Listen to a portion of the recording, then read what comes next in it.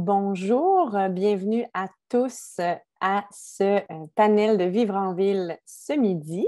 Je vais inviter tranquillement les panélistes qui m'accompagnent à ouvrir leur caméra et leur micro pendant que je débute. bienvenue à tout le monde à ce troisième panel hivernal de Vivre en ville. Ça continue de rentrer dans les spectateurs. Merci de vous joindre à nous.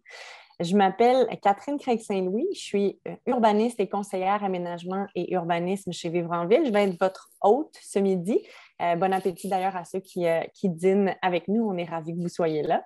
Comme d'habitude, peut-être juste quelques consignes d'usage. On est en mode webinaire, donc tous les participants, vos micros, vos caméras vont demeurer fermés. Par contre, on vous invite à utiliser allègrement euh, l'option converser qui est disponible quand vous descendez votre curseur au bas de votre écran et que vous cliquez sur converser. Assurez-vous de sélectionner à qui euh, pour que ça inclue à la fois les conférenciers et les autres participants. Comme ça, ça, profite à tout le monde que vous posiez des questions ou que vous laissiez des commentaires dans cet outil. On va avoir un œil dessus, puis on pourra intégrer des questions dans la période de questions euh, un peu plus euh, avant dans l'heure. Un bref mot de présentation sur Vivre en ville, qui on est. On est une organisation d'intérêt public qui œuvre à travers le Québec à différentes échelles euh, au développement de collectivités viables. Donc, on parle d'agglomération, de, quartiers, de rues, mais même à l'échelle du bâtiment. Euh, on a eu un, dernier panel le 17 février dernier où on s'est penché sur les enjeux de la requalification des centres d'achat. Euh, nos panels réalisés jusqu'à maintenant sont tous accessibles sur notre site Web. Euh, mais aujourd'hui, euh, tout est dans le titre. Euh, densification gagnant-gagnant, comment on fait? On va s'intéresser à la question de la densification, comment celle-ci peut s'avérer désirable. puis on peut donc avoir en tête toute la question des transformations urbaines qui arrivent dans nos milieux, peu importe la forme qu'elles prennent. on va s'intéresser à la question en compagnie de nos invités à qui je souhaite officiellement la bienvenue. Merci de vous joindre à nous. réunis aujourd'hui autour de la table, on va avoir des gens qui, qui s'expriment d'un point de vue soit un peu plus proche de la des groupes citoyens et des promoteurs. Fait qu'on souhaite avoir une discussion qui reproduit un peu euh, ce qu'on observe dans, des, dans des processus euh, qui, euh, qui, apportent une meilleure compréhension quand il y a plusieurs parties prenantes autour de la table. Fait qu'on se prête au jeu ce midi. On a des gens de divers horizons qui vont, qui vont parler avec nous de cette question de la densification. Sans plus tarder, dans le fond, ce qu'on va faire, c'est que je vais inviter chacun des panélistes à son tour pour quelques remarques introductives sur cette grande question-là de la densification ou de projets euh, que euh, les gens euh, veulent nous partager. Je suis désolée, on m'avise que ça coupe un petit peu. Je suis désolée. On va voir si, si, si je peux gérer ça un petit peu mieux dès que je donne la parole au panélistes. Donc, peut-être en commençant, j'inviterai Catherine Boisclair, qui est coordonnatrice de projet du projet Oui dans ma cour chez Vivre en Ville. Euh, je lui laisserai le premier tour de parole un peu en mode introduction. Euh, qu'est-ce que ça veut dire la densification pour nous, pour les projets? Bref, pourquoi on parle de ça aujourd'hui? Catherine? Oui, merci Catherine. Donc, c'est un panel de, Catherine aujourd'hui. Bonjour tout le monde, merci de vous être joints euh, ce midi. Donc, un, petit quatre minutes, puis je ne veux pas dépasser mon temps, donc vous me permettrez de mettre un chronomètre même. Euh, donc, euh, on, a mis en place euh, Vivre en ville, le projet Oui dans ma cour, qui se veut un peu une réflexion sur la façon de susciter un dialogue constructif au Québec sur la thématique de la densification. On sait, la densification, c'est un mot qui ne laisse pas de glace, c'est un mot qui fait réagir, surtout dans les milieux où il y a déjà des projets qui sont arrivés souvent, ce qu'on voit, c'est qu'il va y avoir une réaction au moment où la pépine arrive sur le terrain. Euh, puis il y a des milieux qui sont en transformation déjà depuis très longtemps. Là, qu'on pense aux, quartiers centraux euh, des grandes villes, par exemple, qui, ont, qui connaissent quand même une certaine transformation depuis plusieurs années, mais il y a des milieux qui connaissent cette dynamique-là depuis peu. Euh, puis c'est une surprise souvent. Puis on veut éviter ça, l'effet de surprise, parce que ça, quand on, modifie un milieu, quand on le bouleverse, bien, on vient vraiment toucher euh, des, des, enjeux très intimes pour, euh, pour des gens. Je pense que ça, c'est important en tant que professionnel de le reconnaître qu'on amène un, un bouleversement. Puis on risque de l'amener, souvent on le sait d'avance, euh, on a travaillé avec des municipalités, par exemple, dans la région montréalaise, puis il y a des gens qui nous disaient l'année dernière, ça fait depuis 2012 qu'il y a un plan métropolitain d'aménagement et de développement, puis nous, citoyens, c'est seulement cette année, quand les promoteurs viennent cogner à notre porte, qu'on apprend qu'il y a une volonté de densification. Donc, à qui la responsabilité? Je pense qu'elle est partagée. Euh, mais bon, pour revenir au projet Oui dans ma cour, on voulait un peu sauter dans l'arène, puis euh, se dire ben, comment on fait pour susciter ce dialogue constructif-là? On, constatait qu'il manquait probablement un espace de dialogue, mais aussi un manque de relation, de confiance entre euh, les différentes parties. Donc, il y avait vraiment une démonisation, notamment dans le débat public. Donc, les, les méchants promoteurs qui veulent juste faire des taxes, pardon, les promoteurs qui veulent juste faire du profit, euh, donc, les, méchantes municipalités aussi qui veulent juste faire des taxes et euh, les méchants citoyens aussi qui, eux, euh, font du pas dans ma cour. Donc, on a décidé de prendre le contrepartie de ça. Et là, je, caricature, bien sûr, ce n'est pas ma position, là, je le précise, mais donc, on a décidé de prendre le contre-pied de ça et de dire oui dans ma cour, mais à quelles conditions, ensemble, sommes-nous prêts à dire oui dans ma cour? Puis on, avait aussi une intention dans ce projet-là, euh, puis on l'a toujours, de, stimuler l'émulation sur la qualité des projets. Qu'est-ce que ça veut dire? Réussir un projet de densification? Puis tranquillement, on est, bien tranquillement, ça, fait longtemps que Vivre en ville parle des collectivités viables. Oui, on s'est concentré sur le mot densification, euh, la, la, thématique densification, mais je pense qu'il faut aussi élargir tout ce débat-là aux transformations urbaines.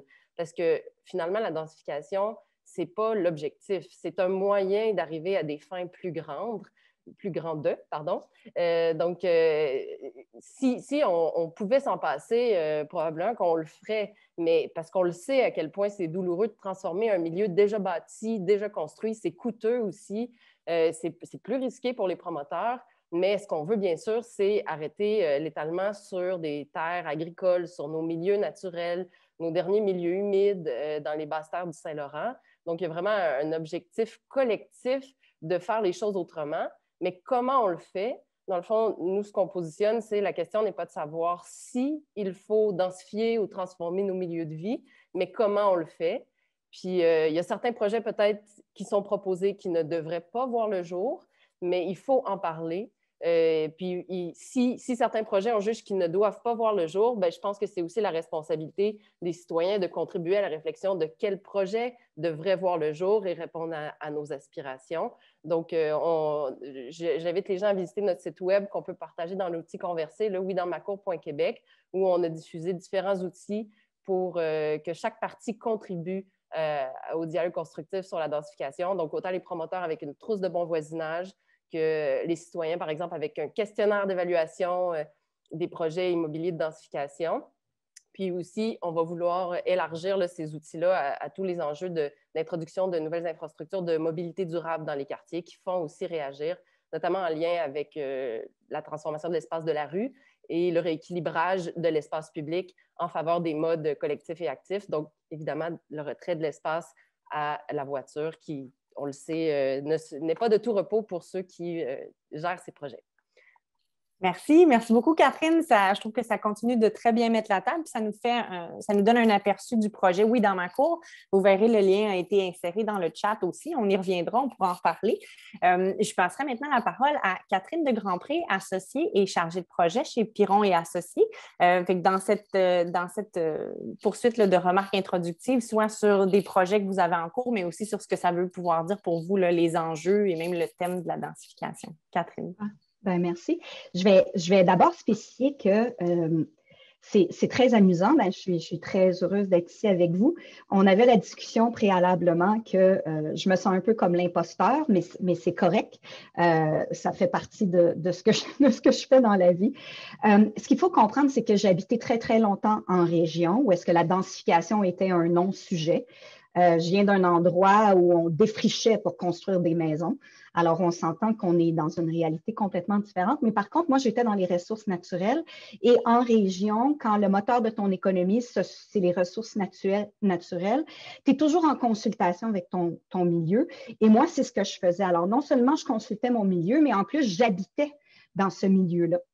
Et comme de raison, la relation entre vivre dans le milieu dans lequel tu développes, tu travailles, c'est complètement euh, différent parce que tu as zéro anonymat. Quand je suis arrivée à Montréal, j'ai réalisé que moi, ce que je faisais dans la vie, c'est de la mobilisation interne ou externe. Et ce qui ressemblait le plus à ça, c'était finalement des communications internes, de la gestion de changement, euh, tout ce qui était la mobilisation des candidats en interne, des, ressources humaines en interne.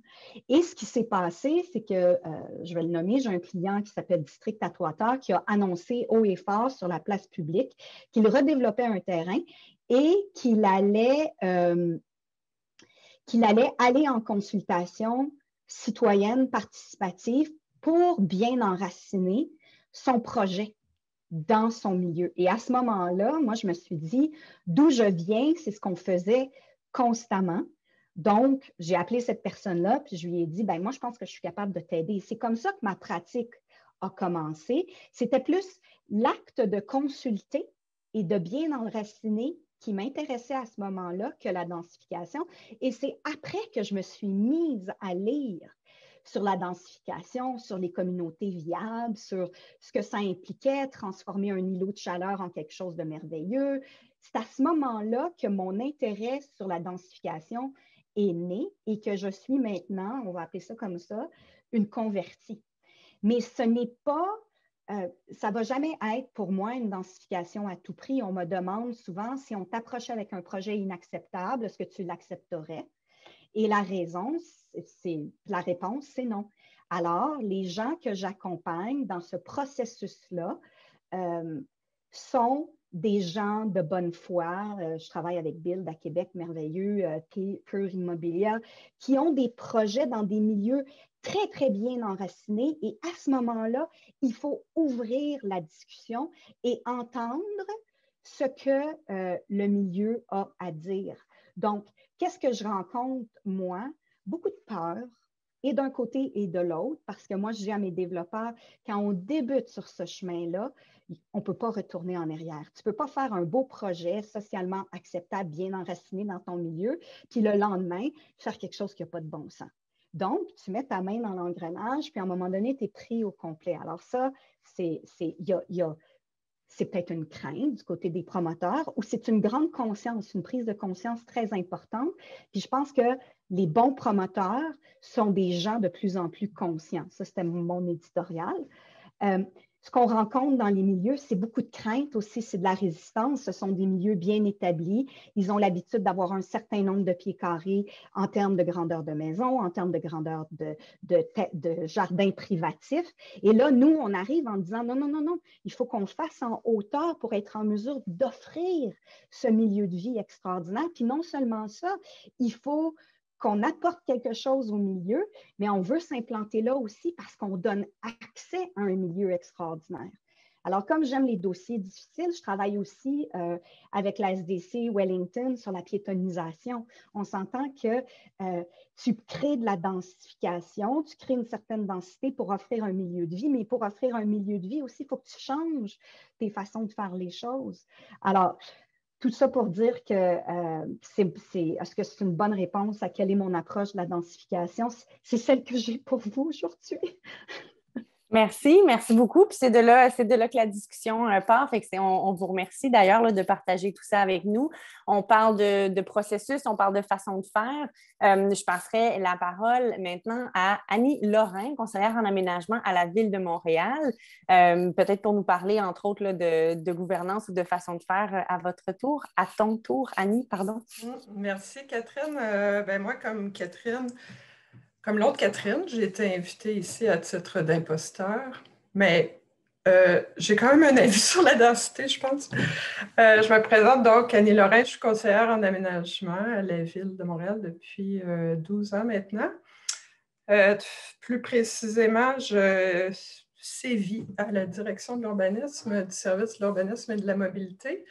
Puis notre service, euh, notre équipe, dans le fond, ce qu'elle fait, c'est qu'elle planifie des grands secteurs en transformation, euh, de plusieurs dizaines d'hectares, comme le euh, secteur La Chineste ou Namur Hippodrome, ou carrément des bouts de ville comme Bridge Bonaventure.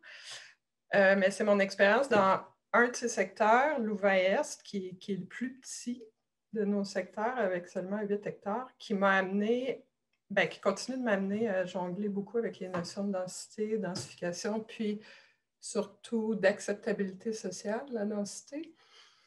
Euh, je pense que je vais essayer de résumer, le projet euh, très rapidement parce que c'est c'est important que vous compreniez le, contexte particulier. Là. En gros, ça vise à créer un écoquartier de 800 à 1000 logements sur euh, une ancienne cour de service municipal qui est située dans le secteur Saint-Sulpice, dans l'arrondissement d'Annecy-Cartierville.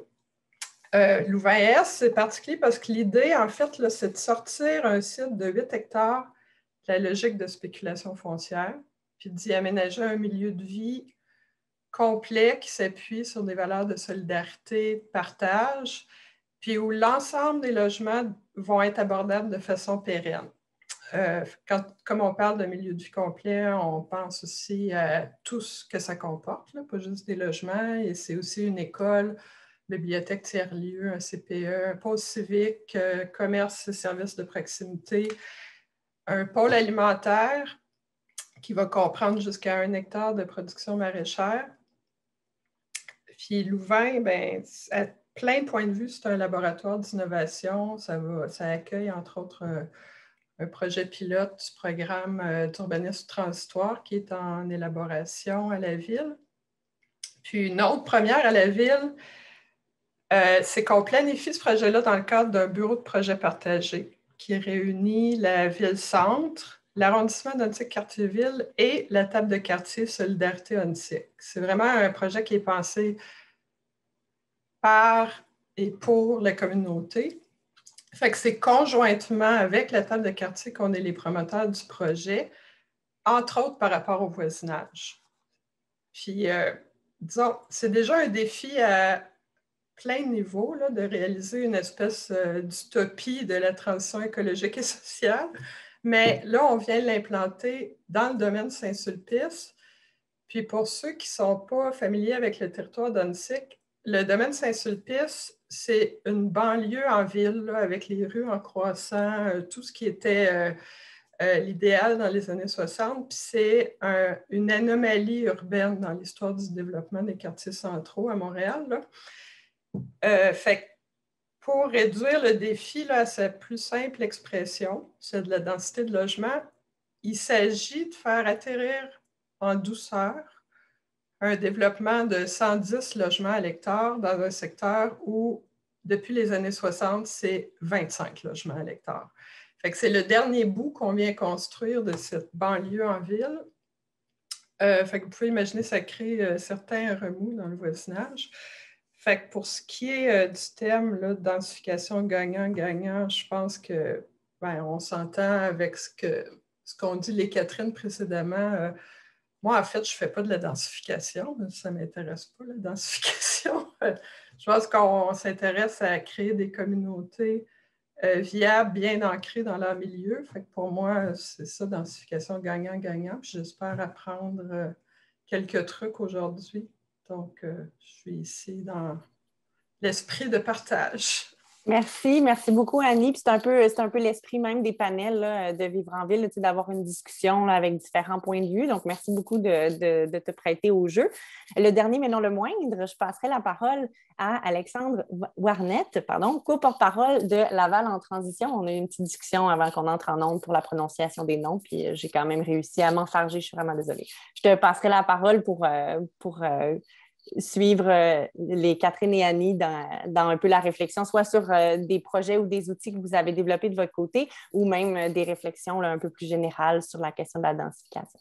Super, merci beaucoup. En fait, je vais aussi contribuer à cette discussion-là d'un point de vue justement de non-expert parce que je suis là, comme tu l'as mentionné, Catherine, comme co-porte-parole de Laval en transition, qui est un mouvement de citoyens et citoyennes de Laval qui, est, qui, qui est né en fait de la volonté de s'outiller, de se rassembler, de sensibiliser pour développer des initiatives éco-responsables sur le territoire, pour diminuer notre empreinte écologique individuelle et collective, puis aussi pour augmenter la résilience de nos, de nos communautés. Donc, on n'est pas des experts, on est des citoyens, citoyennes qui se rencontrons, qui faisons des, des projets euh, euh, locaux ou hyper locaux sur notre temps à côté du travail ou des études.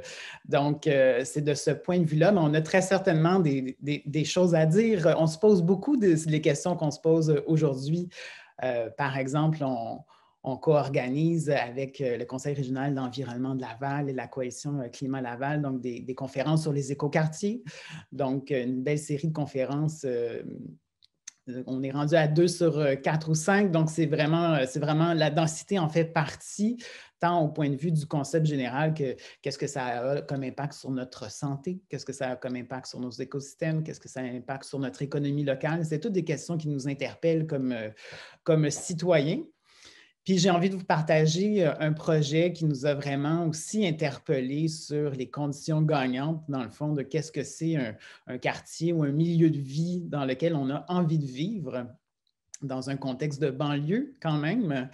Euh, et c'est en fait toute une mobilisation citoyenne qui a eu lieu cet été, l'été dernier, en fait, contre, contre oui, un projet, euh, un projet majeur de développement où on était exactement dans la dynamique que Catherine Boisclair a, partagée tantôt, c'est-à-dire contre, beaucoup d'opposition. On ne veut pas ça, ou bon, les, la méchante ville ou les méchants citoyens ou le méchant, euh, le méchant constructeur euh, responsable du projet. Et on s'est posé cette question-là, comment est-ce qu'on peut avoir un dialogue qui est réfléchi, qui est intéressant, qui peut amener la question à, d'accord, ce projet-là, puis effectivement, Laval en transition, c'est collectivement, parce qu'on prend toutes nos décisions de façon collective. Euh, les co-porte-parole, nous, ne sommes que des messagers. Donc, comment est-ce qu'on peut, c'est ça qu'on s'est posé comme question, en arriver à des projets où on n'est pas seulement euh, dans l'opposition, mais au contraire, qu'est-ce qui pourrait enthousiasmer les citoyens? Donc, vraiment, cette approche-là, oui, dans ma cour. Et puis, on a décidé de rassembler euh, une quinzaine de citoyens et citoyennes de tous les quartiers, ben, en fait, de plusieurs quartiers de Laval. Euh, et on a monté ensemble une grille d'évaluation de l'acceptabilité sociale et environnementale des grands projets immobiliers d'aménagement du territoire à Laval, et euh, qui est dans un langage qui n'est pas celui d'urbaniste ou euh, d'architecte. Ou... Non, on est vraiment dans un langage citoyen parce que la première utilité, c'est d'outiller justement d'autres citoyens. Parce que là, il y a eu ce projet-là qui est tombé à l'eau, mais il va peut-être revenir, il y en aura d'autres. Euh, donc, il faut être alerte, il faut être outillé, mais il faut aussi proposer, être force de proposition positive. Et cette grille-là, en fait, elle donne plein d'outils, tant pour la ville, tant pour les promoteurs, de dire Hey, à Laval, c'est ça que les citoyens ont envie. Puis, de façon intéressante, le mot densité ne s'y retrouve pas. Euh, je pense qu'il y a aussi une relation euh, amour-haine du côté citoyen. On en a parlé déjà un peu avec la densité, mais la clé, la clé euh, qu'on a imaginée, qu'on a trouvée ensemble, en fait, n'est pas dans un élément phare d'un projet, c'est dans le processus. On pourra peut-être y revenir, mais le co-design avec les citoyens dès le départ de projets, même privés, euh, apparaissait en fait au comité citoyen comme quelque chose d'absolument essentiel. Puis je pourrais peut-être continuer un peu plus tard dans la discussion sur c'est quoi peut-être pour un citoyen de banlieue une relation gagnant-gagnant en densité, mais j'avais envie de commencer avec ça. Merci, merci beaucoup Alexandre. On a ensemble un peu euh, touché à la question soit des processus, du dialogue, du comment, du ce que ça veut dire pour nous. Est-ce qu'on utilise le terme ou est-ce qu'on le mentionne même pas parfois parce que c'est peut-être pas le focus de la discussion? Euh, détrompez-moi ou amenez la discussion ailleurs si vous sentez là, que c'est peut-être pas le le, bon filon, mais je, crois entendre, ou moi, en tout cas, j'ai envie de vous entendre un peu plus sur la question de comment on en arrive à des, compréhensions communes ou à discuter de, euh, de vocabulaire qui est parfois pas compris par tout le monde de la même façon. Que ça soit la question d'utiliser ou pas le mot densité, comme Alexandre le mentionnait, ou euh, le, fait d'avoir à discuter ensemble de ce que ça veut dire, on entre ensemble dans un processus de consultation, on ne retourne pas en arrière, là, on se met un peu à découvert puis on discute ensemble. Est-ce que ça éveille chez vous peut-être des, compléments d'information? Alexandre, je passerai la balle, puis euh, euh, les autres, je garde l'œil ouvert, je, vous, passerai la parole ensuite. Bien, c'est parce que c'est pour les citoyens qui ne s'y connaissent pas en, urbanisme, en design ou en architecture, quand on dit densité, on a souvent l'image des gratte-ciels de Tokyo, où euh, on, se sent euh, juste des grandes tours euh, grises, mornes, sans vie, où on est entassé comme des, sardines ou comme des cages à poules. ça peut faire vraiment peur.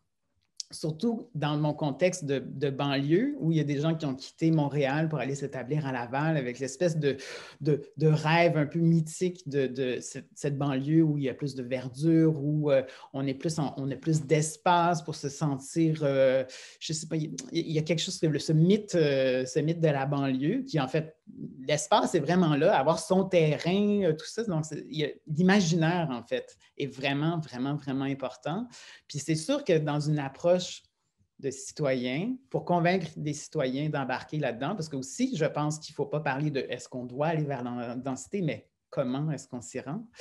Euh, parce qu'aussi à Laval, on, a 30% de territoire agricole. On est très euh, aussi, on, veut protéger nos territoires agricoles, nos milieux humides qui sont.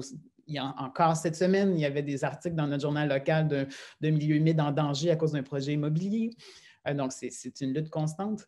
Mais donc, il faut aller vers ça, mais je pense que la, clé dans la communication vers les citoyens, ce n'est pas le processus. Dans le fond, il ne faut quasiment pas jamais dire densification. Ça, c'est comment on s'y rend. C'est plutôt, hey, qu'est-ce qu'on a, vers où on a le goût d'aller?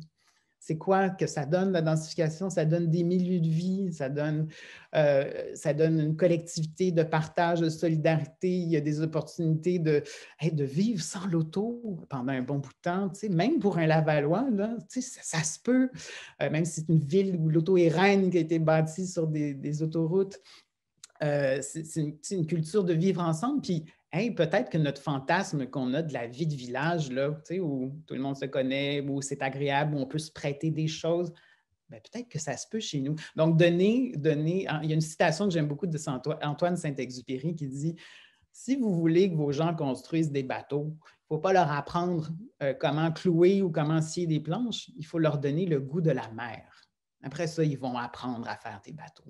Donc, je pense que c'est ça qu'il faut faire avec la densification. Il faut donner aux gens le goût de la mer, à quoi ça ressemble un espace densifié, sans trop parler de ce côté-là. Et puis de, miser sur les, éléments qu'on peut trouver enthousiasmant ensemble. Fait bref, de recadrer peut-être la discussion. J'ai Catherine de Grandpré, puis après ça, Annie. Bien, en fait, je trouve que c'est euh, je ne sais pas si on est censé pas être d'accord, mais euh, Alexandre, je suis d'accord. Je, trouve que c'est que c'est ça le, point qui est, qui est merveilleux, c'est que si on crée une excitation à propos d'un milieu de vie. Puis, tu sais, on parle pas, quand on parle de densification, effectivement, on ne parle pas de 25 étages, là, tu sais, on parle de 6 à 8 étages.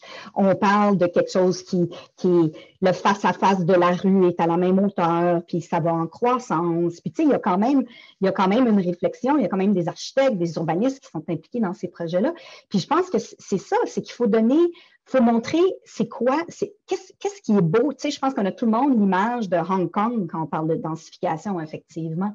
Puis il faut donner, faut, faut donner l'impression que c'est beau. Il y a un projet, euh, de nombreux projets sur lesquels je travaille, où est-ce qu'on parle d'agriculture urbaine, où est-ce qu'on parle euh, de, de, de, plants qui sont des plants, on travaille avec des botanistes pour que les plants soient le mieux adaptés, mieux adaptés à la lumière, pour que les gens du quartier peuvent venir cueillir, pour qu'il y ait une placette publique où est-ce que tout le monde peut s'installer. C'est vraiment un milieu de vie. Parce qu'on pense souvent dans cette situation qu'on va créer un îlot isolé laid et mésadapté. Mais quand on croit à l'identification, ce n'est pas ça qu'on fait, c'est qu'on crée une ouverture sur un milieu de vie déjà existant où on, on amène un apport de gens merveilleux avec qui il va y avoir une communauté. Mais tu sais, on voit quelque chose de vraiment, euh, de vraiment comme, c'est ça, en plein milieu, euh, en plein milieu d'Outremont, tu fais un 46 étages. Ben, pas ça, la densification.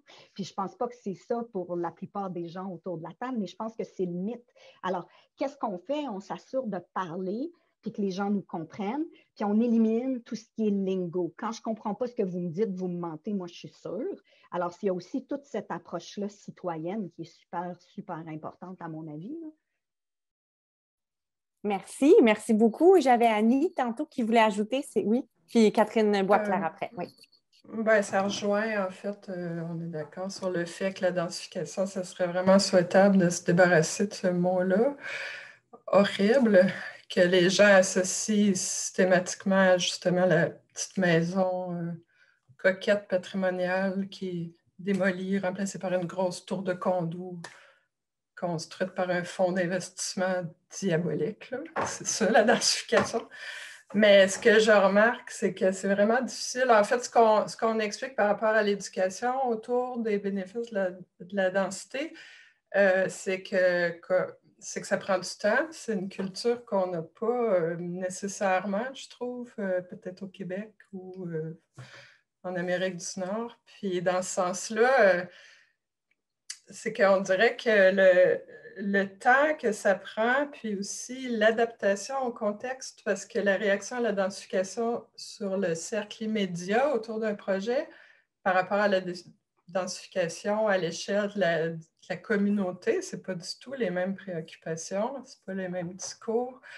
Puis c'est vraiment important de, de s'adapter. Euh, nous, on a un comité de bon voisinage pour Louvain-Est, puis euh, les discours qu'on entend, ce pas ceux de la table de quartier avec qui on porte le projet. Euh, eux n'habitent pas autour du site, nous non plus. Pour eux, les voisins, le projet qui s'en vient, c'est 800 à 1000 logements de gens qui ont, c'est pas vrai qu'ils vont vivre sans voiture, qui vont être en grande partie pauvres, qui ne sont pas comme eux, qui vont amplifier les problèmes de sécurité urbaine. Euh, il y a énormément d'incompréhension euh, par rapport à ce que c'est la mixité, euh, par rapport à ce que c'est faire la ville, finalement. Dans ce sens-là, moi, je ne vois pas, ça amène toujours à la contrainte du temps qu'on a pour se parler et partager. Oui, merci. Catherine, voix claire? Oui, ben, moi, j'entends deux choses. J'entends faire rêver mais j'entends aussi l'enjeu de la peur, euh, qui, est, vraiment... Euh, puis, puis, nous, on y réfléchit beaucoup à la question du vocabulaire. Sais, on, travaille à l'échelle du Québec. On veut s'adresser autant aux grandes villes qu'aux, petites municipalités, aux villes régionales, euh, qui connaissent ces dynamiques-là aussi, puis qui vont les connaître de plus en plus. La question du vocabulaire m'interpelle vraiment beaucoup. Puis comment justement passer de j'ai peur du changement à voici ce que je veux gagner de, du changement. Puis ça, euh, ça, ça, demande du temps. Je pense que. euh, puis ça demande aussi de l'écoute. Tu sais, des fois, on dit. Tu sais, je me suis fait demander à un moment par un collègue, mais qu'est-ce qu'il faut dire aux gens pour qu'ils aient, le goût de la mer, justement, euh, dit autrement? Bien, en fait, je pense qu'il y a une bonne part qui est, bien, je pense qu'il faut d'abord écouter les gens. Puis eux, ils vont partir de leur ils vont partager leurs préoccupations, leur. Euh, puis ça, il faut un espace, évidemment, de dialogue, il faut s'être donné le temps, il faut avoir un processus euh, clair, prévisible, transparent. Mais un coup qu'on a ça, puis ça, c'est pas simple, on doit l'admettre, mais puis on y travaille à vivre en ville. Puis on, a plusieurs, euh, je vois, je vois plusieurs personnes commenter qui travaillent aussi. Mais où je m'en allais avec ça? On écoute, oui, puis aussi le, travail des professionnels, puis ce qu'on a fait avec les municipalités avec qui on a travaillé sur le terrain, c'est aussi de traduire les préoccupations en balises d'aménagement. Les gens ne vont pas dire, moi, je veux du. oui, ils vont parler d'étage, mais quand quelqu'un, son quartier va se transformer, euh, c'est plus par rapport aux, peurs, aux préoccupations, à ce qu'ils veulent conserver des qualités de leur quartier. Puis nous, on dit, OK, bien, si on fait un projet sur ce terrain-là, est-ce que, euh, bien, en préservant les vues, l'intimité, l'ensoleillement, puis on a fait de la modélisation aussi parce que les mots, c'est une chose, mais on ne veut pas le savoir, on veut le voir. Euh, c'est important de montrer des modélisations, mais encore là, puis peut-être que d'autres personnes pourront en parler, c'est aussi un piège. Parce que quand on monte une modélisation trop aboutie, ben, les gens vont se, vont se sentir comme si la décision est déjà prise. Donc, euh, c'est vraiment d'amener ça avec doigté, de parler de scénario, de montrer plusieurs options. Parce que moi, je, vous le dis, pour être quelqu'un qui ne travaille pas avec SketchUp, euh, puis les modélisations, moi, au début, quand je voyais un plan, je me disais, ben, c'est ça le projet qui va avoir lieu.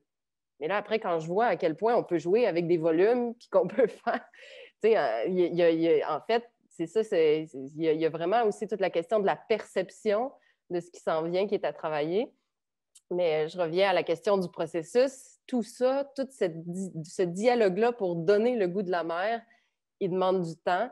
Puis là, on a vraiment des calendriers différents parce que souvent, en tant que citoyen, on veut être consulté, ça va trop vite, attendez, puis on n'a pas, pas de temps pour participer à tous les processus. Euh, ça demande du temps. Tandis que le promoteur, ben, il y a déjà trop de délais, puis là, ça se rajoute à tout le reste. Mais là, j'aimais bien que Catherine mentionne, ben, maintenant, ça, va être de plus en plus intégré aux pratiques des promoteurs. je laisse mes copanélistes parler. Peut-être juste avant, je vais redonner la parole à tout le monde qui a levé la main. Rassurez-vous, mais je veux redire aux gens qui nous écoutent à la maison, assurez-vous de cocher que vous écrivez à conférenciers et participants. Comme ça, ça profite à tout le monde. Puis tout le monde peut avoir un œil aussi sur la discussion parce qu'on reçoit plein de beaux commentaires euh, intéressants.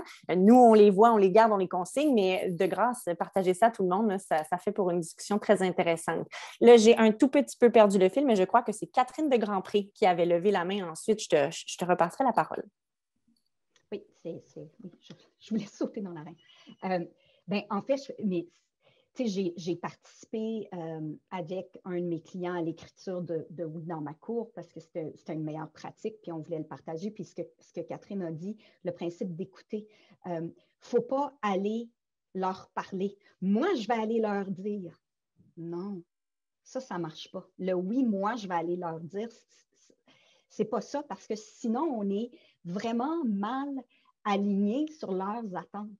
La plupart du temps, juste le fait de l'approche puis de dire OK, on est là pour écouter, on a des idées, ça va nous faire plaisir de partager les idées qu'on a, mais on peut-tu vous écouter? C'est le moment où l'historique ressort.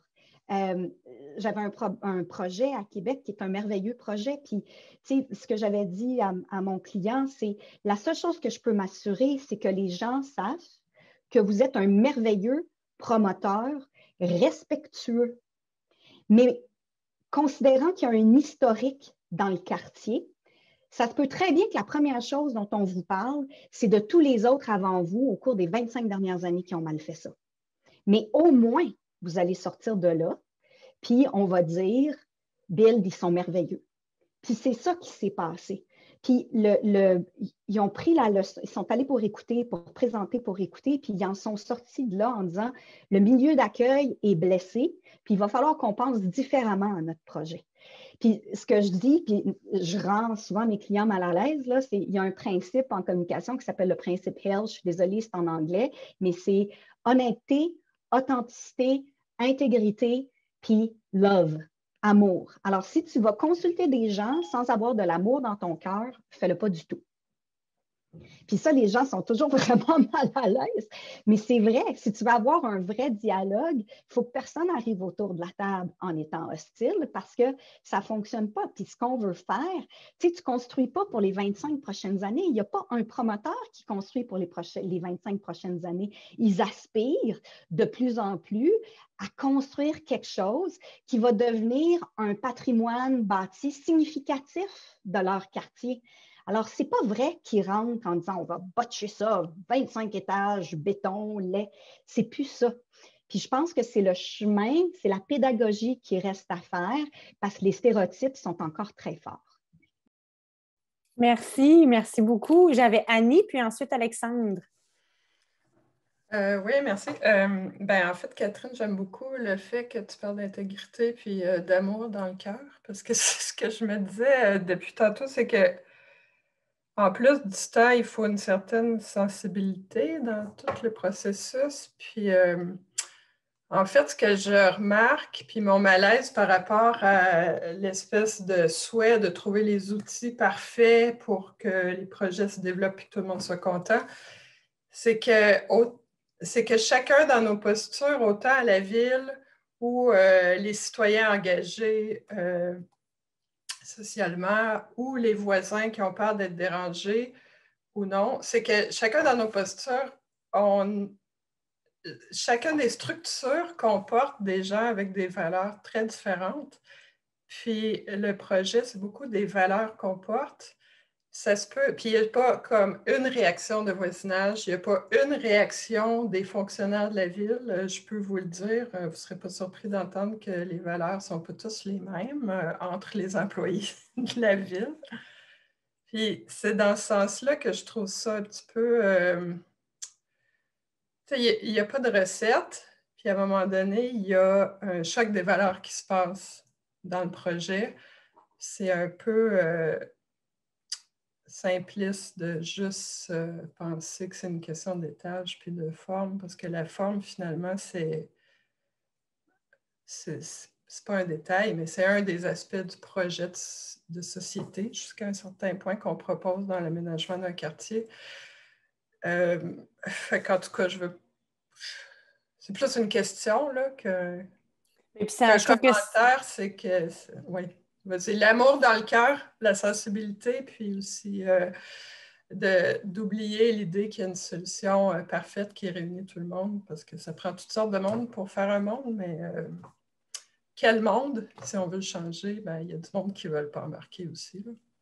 Fait qu'il y a une posture, ou en tout cas la discussion. Puis je, Alexandre, est-ce que tu as baissé ta main? OK, parfait. Mais ben, pas parfait, mais euh, je reviendrai à toi euh, par ailleurs. Juste avant de donner la, parole à Catherine de Grandpré, euh, il y a plusieurs questions dans le chat aussi là, qui, qui, font écho, ou en tout cas des commentaires qui font écho à comment comment justement euh, c'est une posture, comment est-ce qu'on parle ensemble. Fait que je trouve ça très intéressant quand même que la discussion s'oriente beaucoup autour de euh, bon, ben on est vraiment euh, dans la question là, des valeurs, puis d'approcher chacune de ces, de ces, chacun de ces moments-là avec un peu la, curiosité puis le, cœur ouvert. Là, on parle d'amour. Je vais assumer qu'on parle d'amour ce midi tous ensemble. Alexandre, excuse-moi, tu as relevé ta main. Catherine de Grand Prix, je laisserai Alexandre y aller, puis on poursuivra après. Vas-y, Alexandre.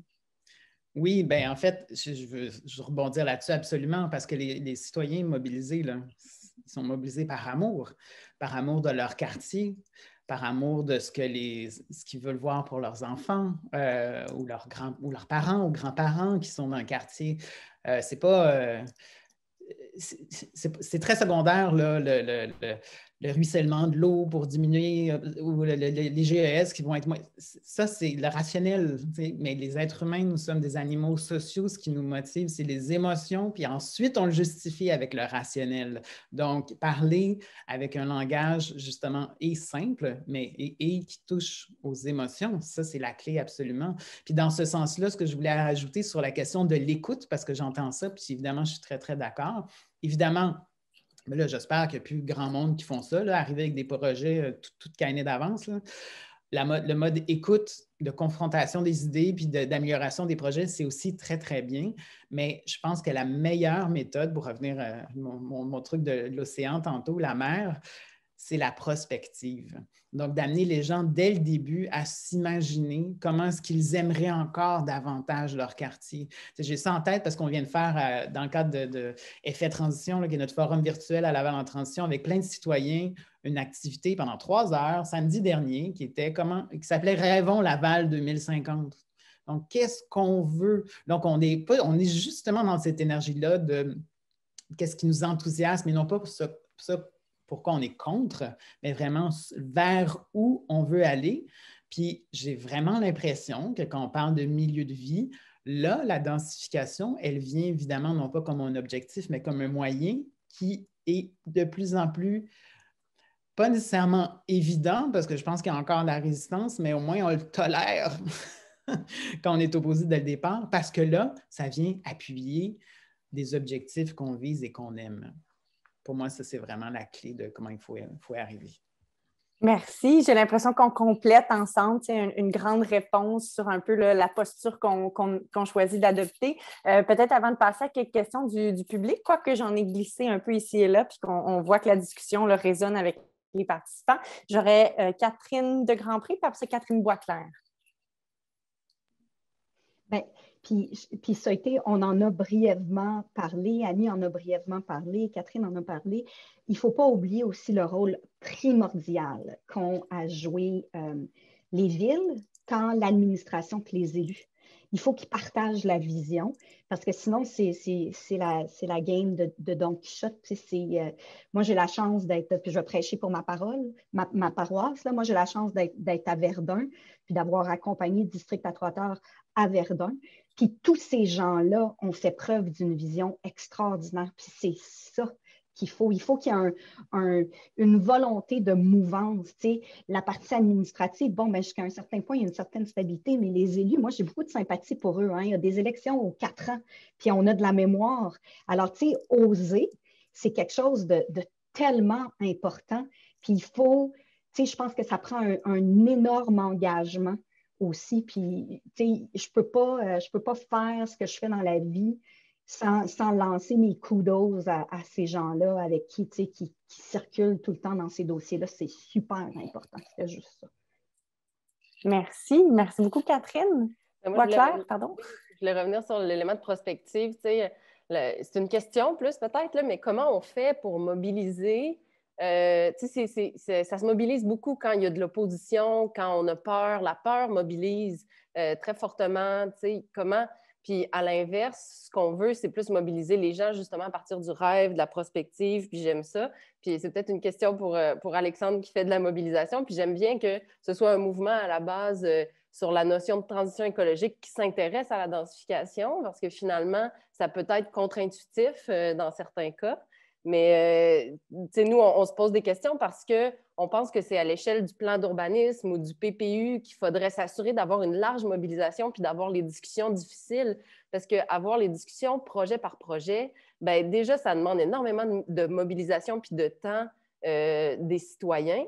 Euh, donc, est-ce qu'on peut avoir ces conversations difficiles-là au moment de la planification d'ensemble? Puis là, ben, ça demande du courage des administrations municipales de s'afficher clairement, puis de faire des modélisations à la limite pour illustrer ce qui s'en vient, puis pas juste les grands énoncés de principe, puis euh, après ça, ben, voici les modalités, puis le nombre de cases de stationnement par logement, mais y aller avec un projet urbanistique, en hein, en ville, on parle beaucoup de ça, modéliser en 3D ce que ça veut dire. Puis il y a certains PPU qui l'ont fait, mais que ce soit un outil de dialogue, cette modélisation-là. Puis à la limite, est-ce qu'on fait des stunts ou euh, on fait un faux projet de densification pour faire réagir les gens au moment du plan d'urbanisme? Bon, je pense que ce serait très risqué, puis que les administrations municipales ont une aversion au risque, ben, les administrations publiques en général, mais même les promoteurs, tu sais. Mais moi, je me demande comment susciter une genre de curiosité inquiète au moment de la vision d'ensemble. Parce que finalement, il faut quand même qu'il y ait un peu de Oh, j'ai peut-être quelque chose à perdre, mais j'ai aussi quelque chose à gagner en laissant euh, Alexandre puis ensuite Annie réagir, juste euh, parce que la, discussion s'en va vers ça un petit peu. Si jamais aussi vous avez envie de nous partager, puis on a commencé à le faire déjà, vos méthodes à vous ou vos façons, on sait qu'il n'y a pas de formule magique, mais en illustrant euh, d'exemples comme vous le faites si bien depuis le début sur comment vous vous y prenez pour justement faire de l'intégration ou, de la réflexion avec la communauté. Alexandre?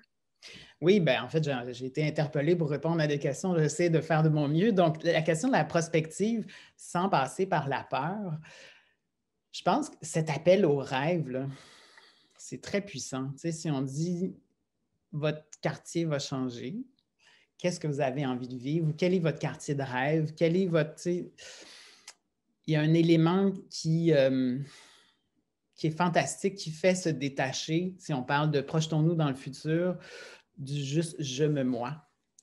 Dans la prospective, on, pense ben, à soi, mais plus tard, déjà, il y a déjà un détachement par rapport au présent qui est absolument nécessaire, mais on pense aussi aux enfants qui vont être grands, puis peut-être à ces enfants qui vont avoir des petits-enfants. Il y a une espèce de, de quelque chose vraiment, ça, ça nous touche aussi comme être humain, donc sans passer par la peur. D'ailleurs, juste mentionner qu'il y a un élément de réflexion sur l'avenir de la ville, ça va ou du quartier, ça va certainement susciter quand même peut-être une réaction de peur parce qu'on n'aime pas ça le changement. ça ne veut pas dire qu'il n'y en a pas de la peur, mais il ne faut pas que ce soit le moteur principal, puis il faut la transformer en euh, c'est ça, en, vision positive.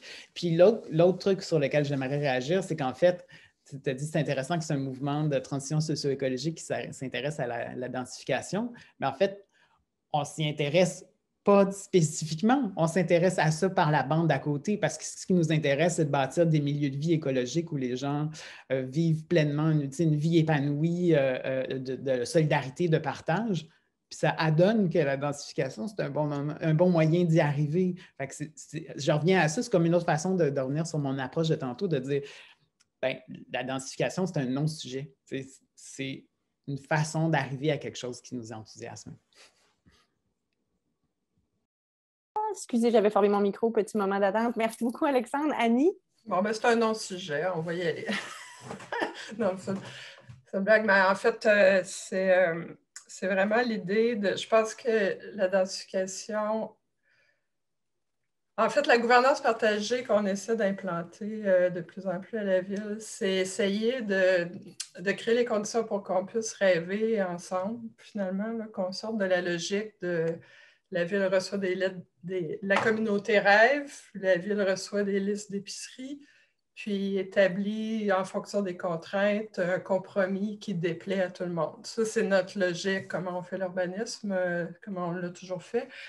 Euh, mais l'idée, c'est de, de rêver ensemble puis d'accepter de sortir de nos zones de confort, euh, puis d'écouter, d'écouter l'autre, de le comprendre. Puis nous, ce qu'on a trouvé comme outil, puisqu'on essaie de, se partager des outils, c'est qu'à travers euh, l'urbanisme transitoire, le programme d'urbanisme transitoire, on essaie, on essaie de voir comment on peut prendre, euh, ben, dans le cas de Louvain, c'est un bâtiment municipal, un bâtiment vacant, comment on peut le mettre au service tout de suite de l'appropriation du projet par la communauté, puis comment cette expérience va nourrir l'écoquartier. Fait qu'on n'a rien, tu sais, la modélisation, on n'est pas là parce qu'on veut se garder une espèce de flou pour que le projet puisse évoluer.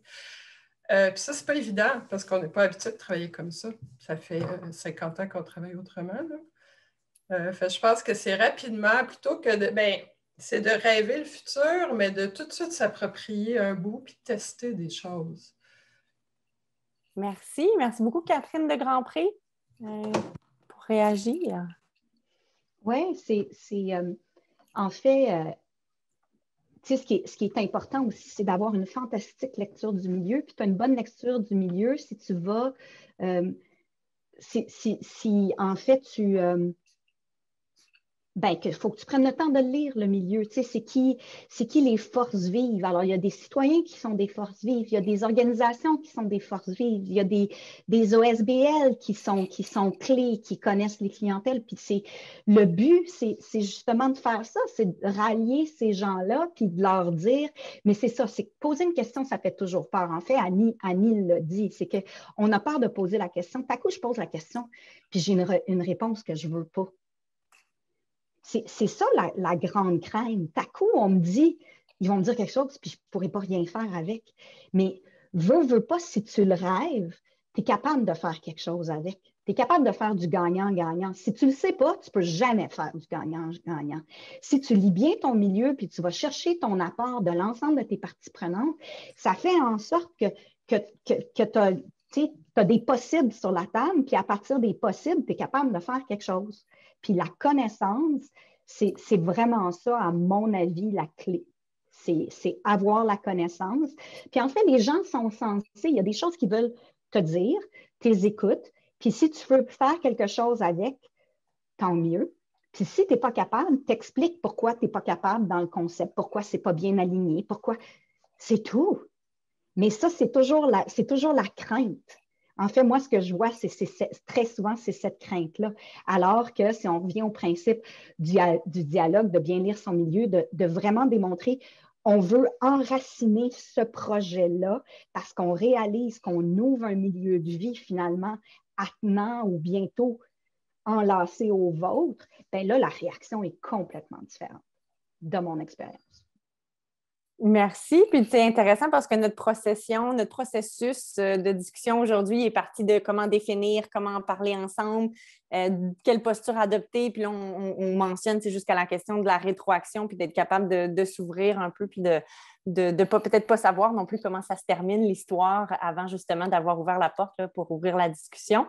Le temps file. J'ai fait de mon mieux pour essayer d'intégrer des questions qui passaient dans le chat en même temps. Il y avait quand même beaucoup de questions très précises sur du vocabulaire, sur des nombres d'étages qui auraient pu euh, définir une, une hauteur parfaite.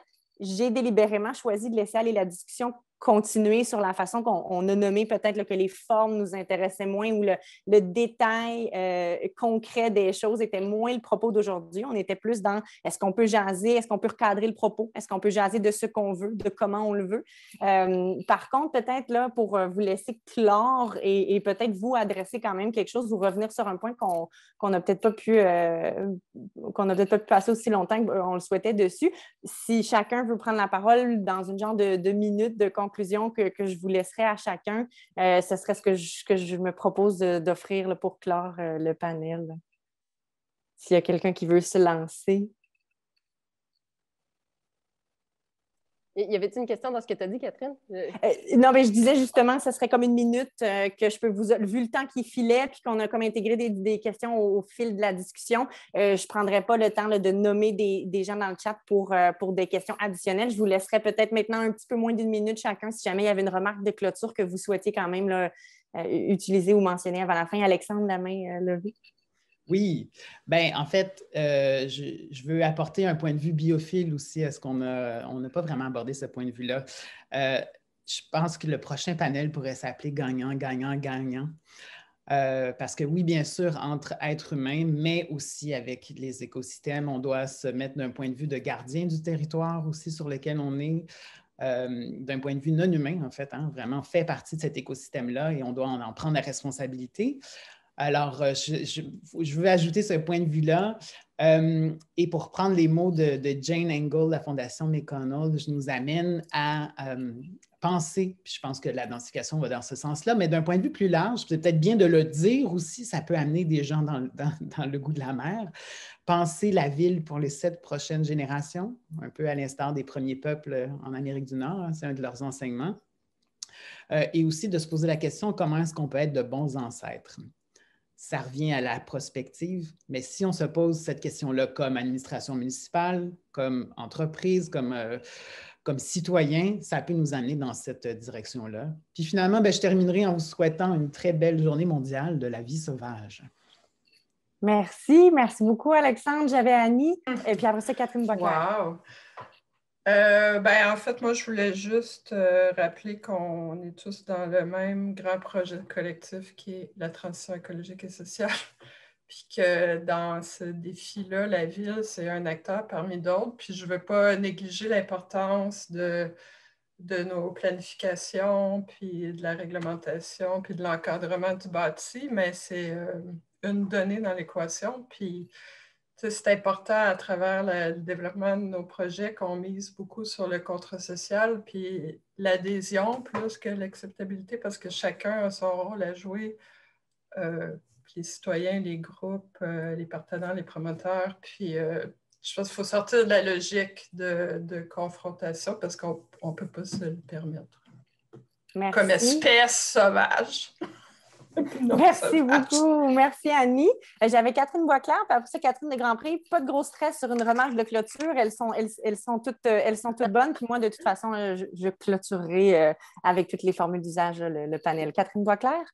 Oui, ben, je pense que moi, j'aime bien dire que si vous sentez qu'il y a quelque chose qui cloche avec la densification, vous avez probablement raison. Mais la question, ce n'est pas de savoir si il faut densifier, mais comment le faire. Et là, je ne parle pas d'un projet en particulier, mais bien de votre quartier, de votre municipalité ou du territoire en général. Puis si vous êtes présentement dans une dynamique d'opposition, euh, je vous envoie de l'amour. Euh, puis je vais aussi vous dire, euh, peut-être vous demander qu'est-ce qui susciterait plus de confiance envers les autres parties? Qu'est-ce que je pourrais demander aux autres parties qui ferait en sorte que je serais plus dans une dynamique de collaboration que d'opposition? Donc, peut-être que je, vous invite à prendre la responsabilité d'identifier ces éléments-là. Euh, puis, tu sais, souvent, Vivre en Ville, on nous contacte pour dire dites-le aux citoyens que c'est bien la densification et notre projet.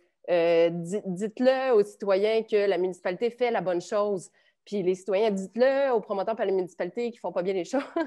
bon, le bien, le mal, je pense que nous, on, on veut vraiment sortir de ça. On est un peu au carrefour de tous les acteurs. Nous, on a envie de susciter la collaboration. Fait que c'est, pas la bonne raison pour nous appeler, mais on a envie de réfléchir avec vous. Donc, c'est un appel à collaboration. On a envie de réfléchir avec vous comment on s'en va vers ça ensemble au Québec, puis je renchéris pour une transition sociale et écologique. Merci. Merci, Catherine. Catherine de Grand Prix, euh, dernière mais non la moindre, s'il y avait une idée que tu souhaitais partager en finissant. Ben, je, pense que l'idée qu'il faut partager, c'est qu'il va falloir tout le monde qu'on fasse notre planning de façon différente parce que ça prend du temps. C'est une gestion de changement, ça prend du temps. Alors, je pense que euh, de plus en plus, les acteurs sont, sont, conscients du fait que ça ne sert à rien de pousser, peu importe le projet, ça ne sert à rien de le pousser dans la gorge de personne. Mais ça aussi, c'est un changement de paradigme. Puis je trouve qu'on c'est probablement mon côté euh, fleur bleue. Je trouve qu'on s'en va dans une, bonne, une très, très bonne direction. Puis moi, je trouve que ça donne espoir qu'effectivement, comme disait Alexandre, on, bâtit pour les sept prochaines générations. On, se sent une responsabilité de laisser quelque chose qui vaut la peine, peu importe la position qu'on occupe finalement dans cette grosse chaîne de consultation, d'idéation, de brainstorming. Tout. Merci. Merci beaucoup à chacun, chacune des panélistes, Catherine Boisclair, Catherine de Grandpré, Annie Lorrain, Alexandre Warnett. Je sais, euh, pour les, spectateurs, on n'a pas pu euh, traiter de toutes les questions, mais nous, on, les conserve bien. Ça alimente nos réflexions. J'ai gardé personnellement un œil là-dessus, comme je sais certains des panélistes aujourd'hui. Euh, vous pourrez retrouver la discussion d'aujourd'hui, mais aussi nos anciens panels sur le site de Vivre en Ville, dans la section vidéo. sur une dernière, un dernier 30 secondes, juste pour vous mentionner que le 12 mars prochain, Vivre en Ville donne rendez-vous pour un événement spécial autour de du thème de un an, euh, pandémie un an après, quel avenir pour les villes, euh, en avant-midi avec une conférence d'Hélène Dunham-Jones, qui est professeure au Georgia Tech, et Valérie Plante, mairesse de Montréal. Euh, donc, une discussion sur la dernière année puis nos perspectives pour la suite. Je vous souhaite une excellente semaine à toutes et à tous. Merci beaucoup de vous être joints à nous ce midi. Bon après-midi.